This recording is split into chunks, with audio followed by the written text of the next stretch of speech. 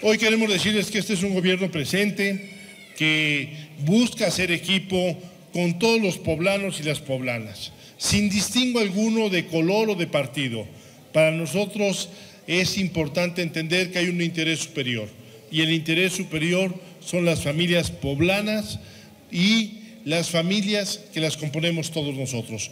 Por eso, primero la familia aquí en Puebla, sin duda. Y vamos a seguir trabajando de la mano de ello para poderlo hacer con mucha puntualidad. Y a Gerardo felicitarlo porque él decidió invertir en algo que yo pedí desde el primer momento en que fui gobernador. Le pedí que se invirtiera en la seguridad pública, que no había cosa más importante para nosotros que la paz y la tranquilidad de las familias de todo el estado de Puebla. Y él así lo hizo.